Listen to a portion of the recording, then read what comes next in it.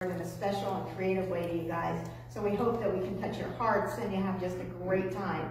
But before that happens, as you've seen in your, uh, Pastor Ron mentioned in our, in your bulletin, you see some activities that are going to be going on. We have, uh, God has blessed us with uh, our puppet home and during COVID, as we were shut down, he gave us the opportunity to get our the puppet home ready to um, start allowing families, schools, um, children of all ages to come in. All the Sunday school rooms downstairs have been made into different activities. So the kids can come and make a puppet, take it home with them. There's a craft room, there's a black light room where kids can come and try on uh, puppets in the black light room. Um, there's also another Kids City room so um, it's just amazing. And if you just want to come by sometime just to go through to see what it's like, you're more than welcome to do that. There we. We're there every day yes. except for on Wednesday. also, um, God has presented us to do gift certificates. You can buy gift certificates, certificates to come and do the, the all the creativity and the uh, things that you can do in the building. And you can get the gift certificate for any amount. It is $7 to come in and go through all the activities and take all your stuff with you. Uh, we have regular ones and we also have birthday ones. We are also doing an adopt a tree where you can adopt a puppet and we have a tree that has all different um, pictures of puppets on it that you can adopt one, which means you would purchase it and the kids would use it for their programs. All right. Okay, thank you, Miss Lisa. And you said Easter is coming, right? Absolutely. And Jesus will be alive. He's alive today. He's alive. We celebrate him coming out of the tomb, absolutely. All right, so our Bible point, Miss Lisa, um, is what? Jesus' power lets us live forever. Trust Jesus. Now there are emotions. So let's try this with me. You ready? Here we go. Jesus, Jesus power lets us live forever. Trust Jesus. Oh, I think they can say it better than that. Okay, here we try it one more time. Oh, move out of the way so you can see the sign. All right, here we go. Jesus' power lets us live forever. Trust Jesus. You're awesome. Awesome. Okay, you go get Aaron ready. And our Bible verse for today is the Spirit of God who raised Jesus from the dead lives in you. How about that? The Bible says that greater is he who lives in you in, me than he who lives in the world. So, the Spirit of God who raised Jesus from the dead lives in you. And that comes from Romans 8, 11. Okay, and Romans is kind of like this. You're just roaming all around. All right, so let's do the whole thing. Are you ready? Here we go. The Spirit of God who raised Jesus from the dead lives in, what somebody? You. Good job. Romans 8, 11. Awesome. Okay, Aaron, are you ready? In Old Testament times, if you remember, the Israelite children were going across the desert to get to the promised land. Aaron, the brother of Moses, had a very special job, and that was to blow the shofar. The shofar was used to get everyone's attention, to let everyone know that God had an announcement he wanted to make. And the announcement that God wants to make today is that Jesus' power lets us live forever. And so when Aaron would blow the shofar, now our shofar is not very big. Um, Jamie was telling us yesterday about the shofars that she saw in Israel. Um, this is a smaller shofar, but it represents the ram's horn. The ram's horn. When God provided the ram for Abraham when he was about to sacrifice his son Isaac in obedience. So the shofar is very important today. Aaron, sound the shofar and invite God's power to come down today and deliver a message. Here we go.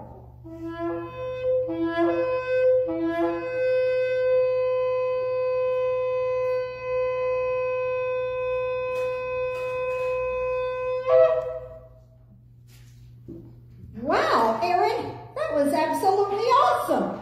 Oh, I can't imagine that blowing in the desert. Everybody would have stopped. Well, at least I would have. Oh, wow. Well, folks, do you know that there is a Bible story about a man named Saul who persecuted the Christians until he became a Christian himself because he was blinded on the road to Damascus and Jesus touched him, Miss Kay. What a story. Yes, and Ananias was used by God to help him who was now called Paul. You see, are you ready, Miss Kay? I'm ready. I want you to say this after me. Okay. Jesus' power Jesus' power helps us do helps us do hard things. hard things. Trust Jesus. Trust Jesus. So let's see if they can all say that out there now. All right, you ready out there? Here we go. Jesus' power helps us do hard things. Trust Jesus.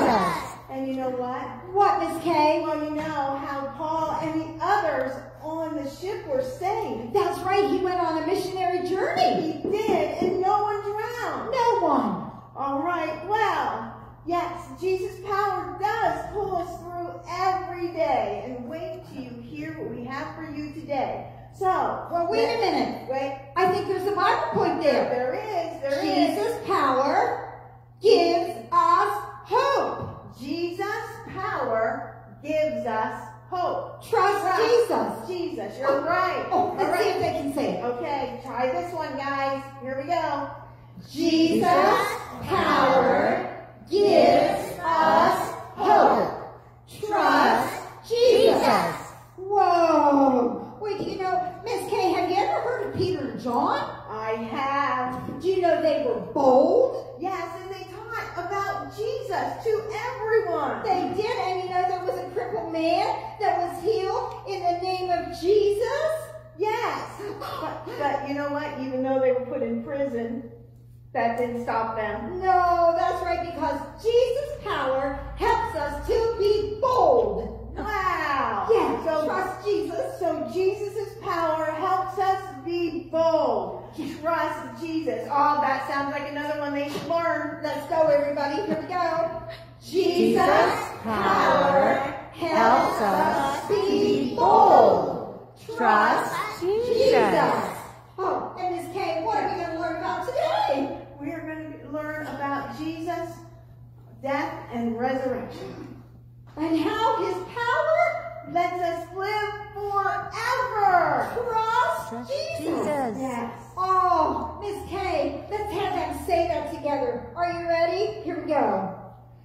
Jesus' power lets us live Forever. Trust Jesus. Oh, Miss Kay, I think we need to worship after We we do. hear all those Bible stories. Right. And And it's, yes. And you know what? You guys out there, if you can sing along, if you know the songs, clap your hands. Let's have a great time praising Jesus this morning. yes.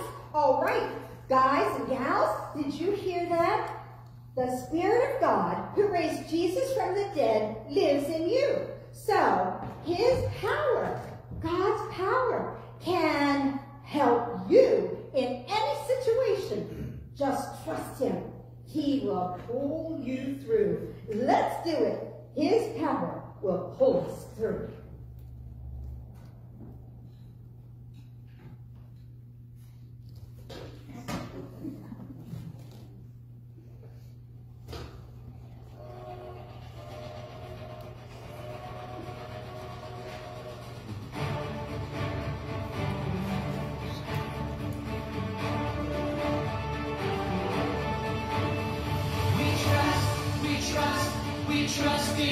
Jesus.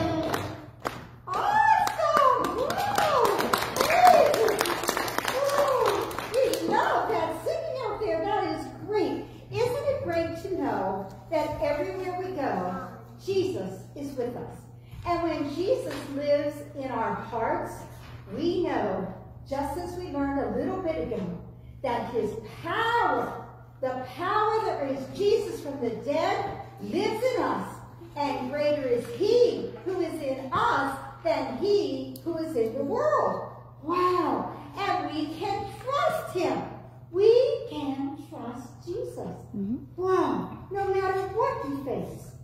Team,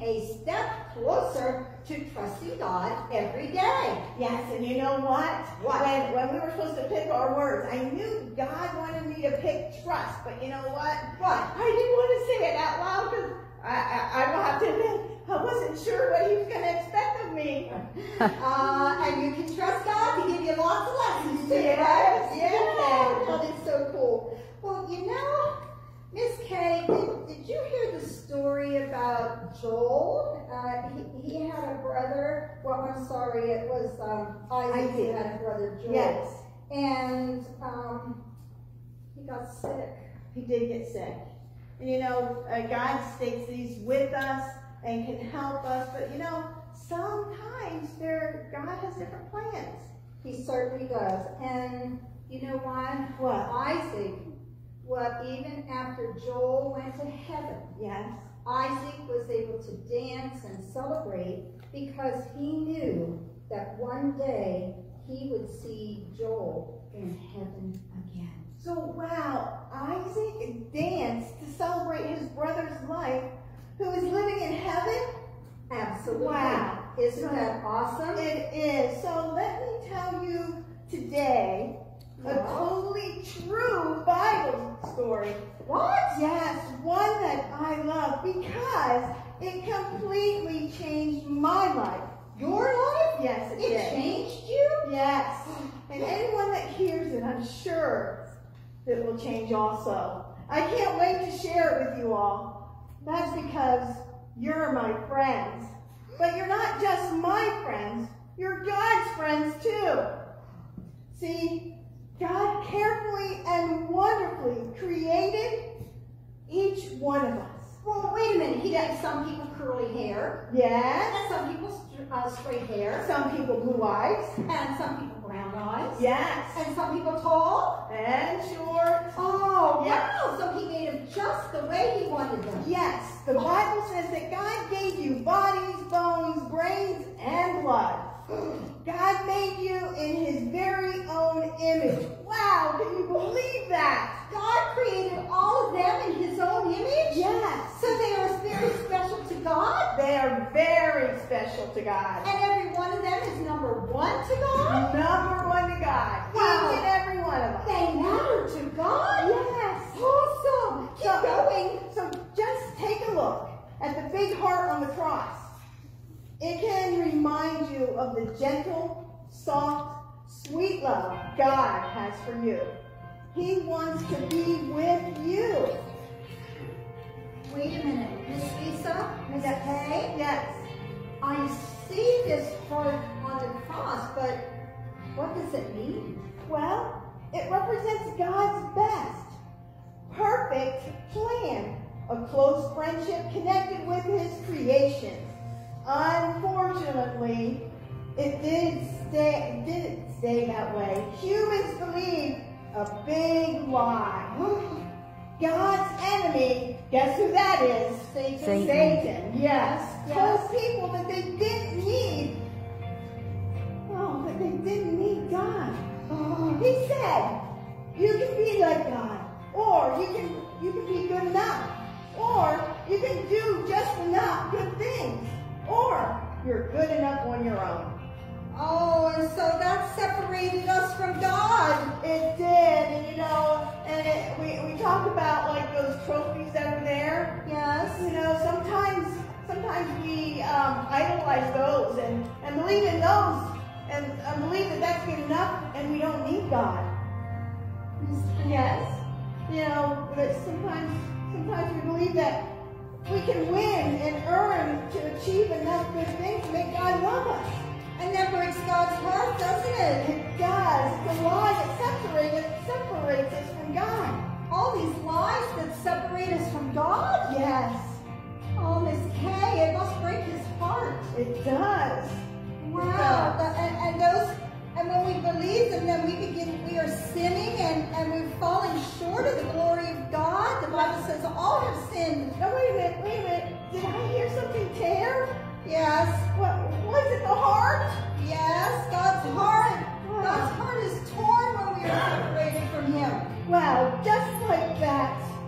Like sin or, or the wrong choices we make, it tears us apart from God. It does. It rips our friendship with Him. And He wants to be our friend. Yes, and it makes a mess.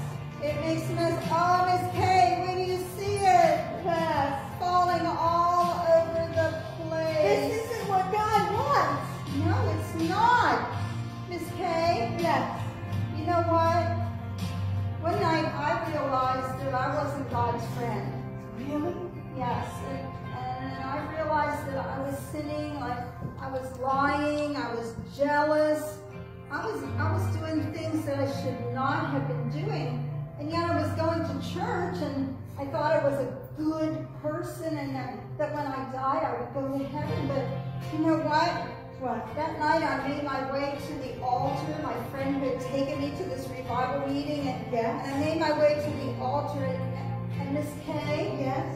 I asked Jesus to forgive me. Wow, that is awesome. You know, God gave up something precious to fix these, these problems of ours. And, and he continued to work on my heart. Now, he didn't take away everything that I was doing right away Yes. because I had to give them to him and I, I had to confess to him that I was doing wrong. But he kept working on my heart and working on my heart. Yes. And he forgave me, Miss Kay. That is He awesome. me. And And he he, he he went to the the cross. For us. Yes, and, and Miss Kay, everyone, it changed my life for good. Miss Kay, Miss Lisa, my heart was changed. And I wanted to have that close relationship with God. Now that doesn't mean I'm perfect. Right. I don't think any of us are perfect, right? No. Right. And I still sin, Miss Kay. Yeah. I still do things that are wrong. But you know what? God took the mess in my life and he made me a new creation. Wow. Just um, like in Ephesians 2 8. For it is by grace you have been saved through faith. And this is not from yourselves. This is a gift of God. Miss Lisa, I think there's a song that maybe if we explain it to everyone out here right now, that they might understand the gift of salvation and, and why Jesus went to the cross for Yes. us. Yes. How many of you heard of the old rugged cross? Yes. So we're gonna invite the children if they want to come up and sit in front of the cross. Front of us. You can come.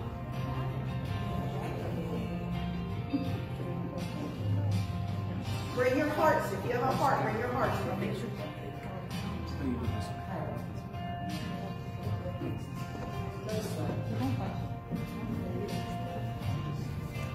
Oh, it's so good to see these children. This is awesome. Come on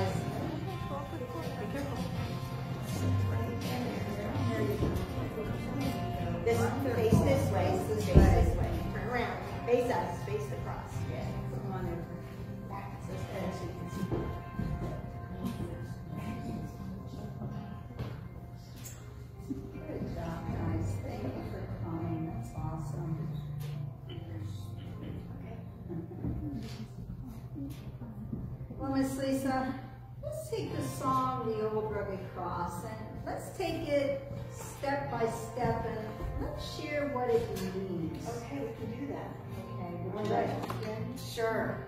On a hill, far away, stood an old rugged cross, the emblem of suffering and shame. Now, what do you think that suffering was? Jesus. What, what Jesus went through for each one of us? The shame that we have. You know what? Jesus went to that cross, but he never sinned. He was God's pure and perfect son. The cross is an emblem, a picture of suffering and shame. Sometimes we feel ashamed when we do the wrong things or when we make bad choices because we all make bad choices. We can never do enough good or great things to bring us to God. We all sin. The next line says, And I love that old cross where the dearest and best for a world of lost sinners was slain. You guys know what the word slain means? Do you know what it means? Have you ever heard that word? What's it mean? Yeah.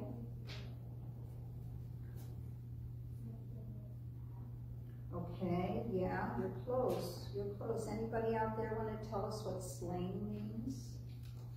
Can you help us out? To die To be killed, to die, right? So, Jesus was slain on the cross. Kids, let me ask you something. When you do something wrong, whether at home or at school, can you tell me what happens? It's okay. We're not, I'm not going to embarrass you mm-hmm. because you know what? I got lots of punishment when I was a kid growing up. I was nasty. Yep, I was. So what do you think punish, what happens when you do something wrong? Yeah. Yeah. And sometimes it's big trouble, right? My brother and I got in trouble all the time. Okay, you guys, do you get in trouble? No. Yeah, okay. How about you guys out there? Do you get in trouble even as grown-ups? Oh, yeah. Yeah, see? Everybody. And you know what? When we get in trouble, we get punished, all right? In other words, we pay consequence. That's a big word for what we have done wrong. You know what Jesus did for us? For all of those sins, for the lies we tell, for disobeying our parents, for being nasty to our brother and sister, The mess that we make. the mess that we make. All of those things, Jesus took our punishment on the cross to forgive us of those things. You see, look back there, boys and girls. Jesus died for every single person, every single person. And he died for you. He died for Miss Lisa, and he died for me. Because we all sin. Okay? You see, Jesus took your punishment. Jesus took your punishment. Jesus took your punishment. Jesus took your punishment. Jesus took your punishment. Oh, God bless you. Thank you. You know Miss Donna might fall, don't you? Yeah, okay. Jesus took your punishment. Miss Lisa, So, Jesus took your punishment. yeah, and Miss Donna, Jesus took your punishment. Thank you, Jesus. So Cherish the old rugged cross till my trophies I lay down. We take these and lay them down at the feet of the cross. Sometimes we value our treasures more or our accomplishments more than we do God. It's a way to be proud of them. But thousands of ribbons, awards, trophies, or good deeds can't wash away our sins or any of the wrongdoings that we do. We can never do enough good things to earn our way to heaven. As I read earlier, Ephesians 2.8 says, God saved you by his grace Amen. when you believe. And you can't take credit for this one. It's God's gift to us. We're powerless to save ourselves. Only Jesus can save us. Let us lay down all those treasures, all those awards, as we did here, to show that God is the most important thing, not us. So boys and girls, you know how our friendship with God was torn apart because of sin, because of those things that we do wrong. The only way to make our friendship with God again was for Jesus to go to the cross. He had to do that. There was no other way to bring us back to God. And you see, the story does not end at the cross. Jesus' enemies thought it did. And they took him down off the cross and he was laid in a tomb. And three days later, God's love, his love, all of us, rose Jesus from the dead. He is alive. Amen. He's alive. He was willing to wear that crown of thorns on his head and to bleed. He was willing to be whipped on his back so that you would not have recognized him. He was beaten so badly you would not have known it was Jesus. But he did it for us hmm all of us. And he was willing to have the nails in his hands and his feet for all of us. Because it was the only way to bring us back to God. And you know what, boys and girls?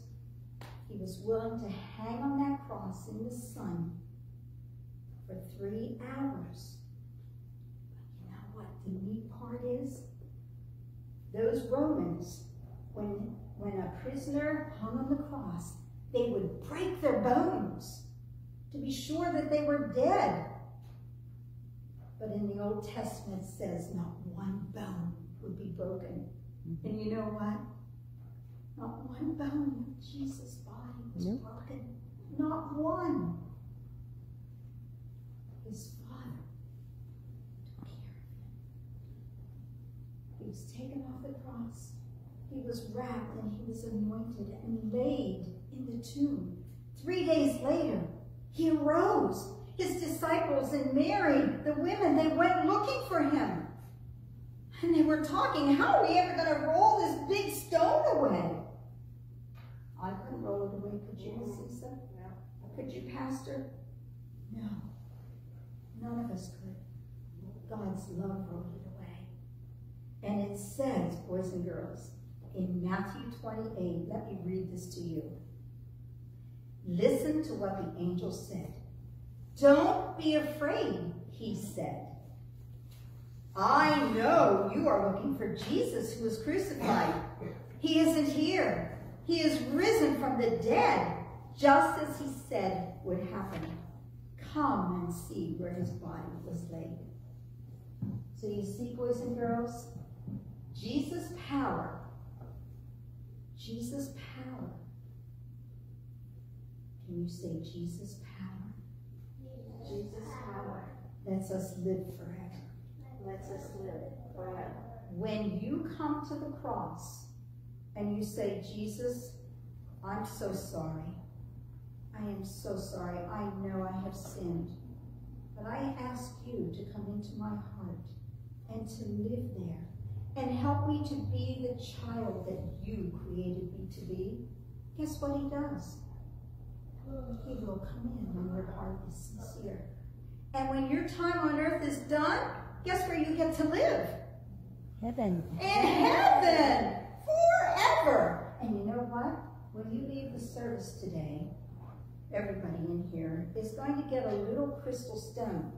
Because in Revelations it tells us that there are columns or pillars in heaven. And on those pillars are precious, glorious gemstones. So we're going to give this to you and to everybody out here to take home to remind you of what heaven is like. You're forever home as you accept Jesus as your Savior and you live with him forever. We're going to do the song, The Old the Cross, and we're going to then ask you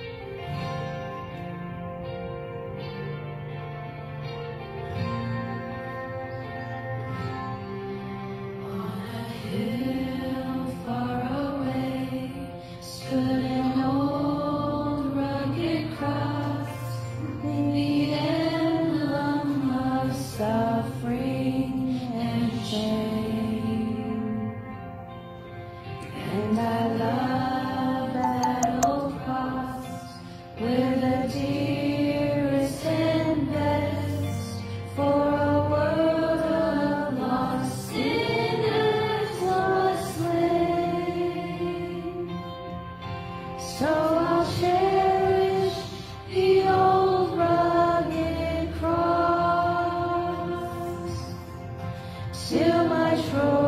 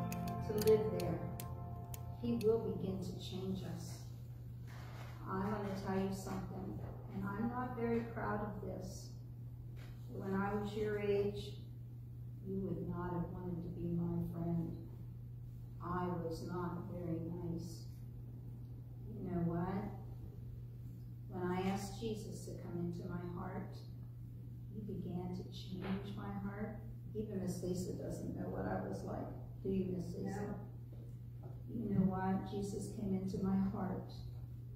I was 30 years old when he did that. And boys and girls, he began to change my heart and to make me more loving, more kind, and able to tell others. Now, he still has some things he has to work in my life because I'm not perfect. I won't be until I get to heaven, right? But you know what? When I get to heaven, there'll be no more sickness, no more bruises like when I fell recently. None of that, right, Miss Lisa? Not at all. So, we're going to give you and all these people back here today a chance to say, Jesus, come into my heart. Live in my heart and make me the person you want me to be.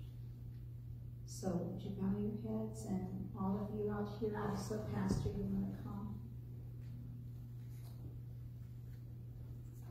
I'm going to ask you to bow your heads and, and not looking around at your friends or brothers or sisters or anybody, but to just imagine right now Jesus is right in front of you.